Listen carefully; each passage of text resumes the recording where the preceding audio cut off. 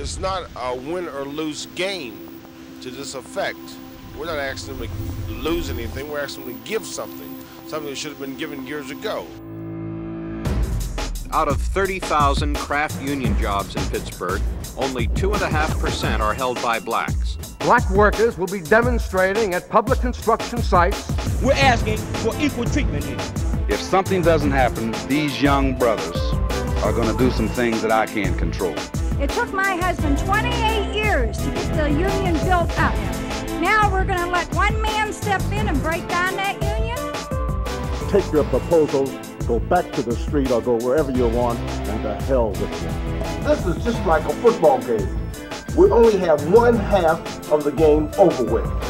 You were standing there watching. I was too. And the guy walking beside me was arrested, didn't say anything. There's no confrontation. We have to put some black people on jobs. If something isn't done about it, the city's going to be in trouble. What do you, what do you, what, what do you intend to do? What does trouble mean?